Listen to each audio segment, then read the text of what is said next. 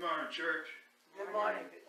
Uh, I, I have read in the past, uh, a a reading from, uh, Our Daily Bread, and I, I read this little, uh, book e- every morning, and this one, uh, really inspired me, so I thought, I wa- I want to share it with you. Uh, And that's why a while ago, I requested that we sing the, the song, He Keeps Me Singing, because it ties right in with this story. Uh, and, and so this is uh, Sunday, uh, January the 12th.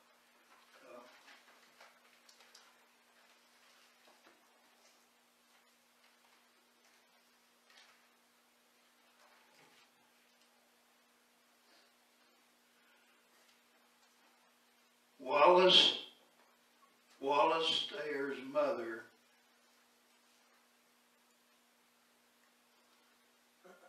Wallace Stegner's mother died at the age of 50.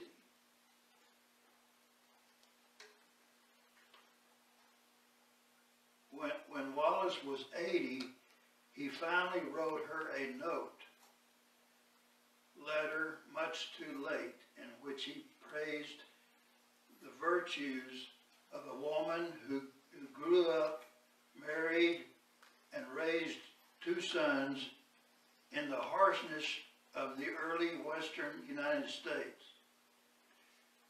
She was the kind of wife and mother who was an encourager,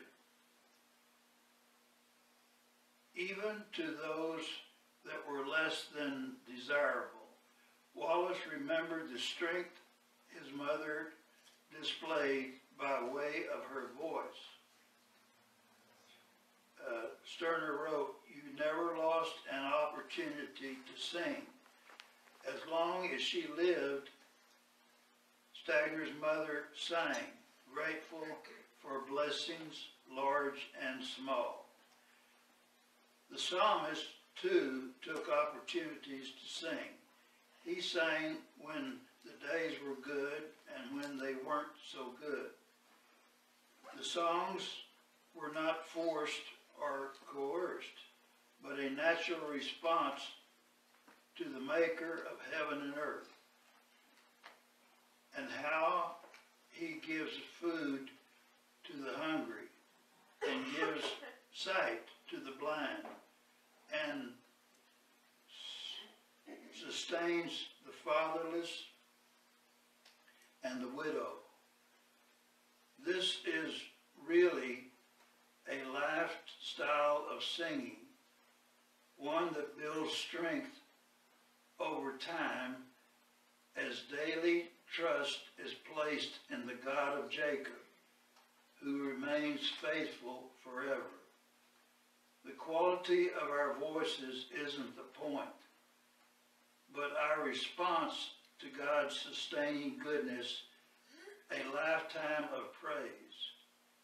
As the old hymn puts it, there's within my heart a melody. There's within my heart a melody. How does that do that? And then there's, there's a question, says, how can you make singing praises to God a regular part of your day? What's your favorite song of praise? Tell us why on our Facebook page. And then uh, there's a short prayer. It says, Maker of heaven and earth, when I pause and reflect, your provision for and protection of me is overwhelming.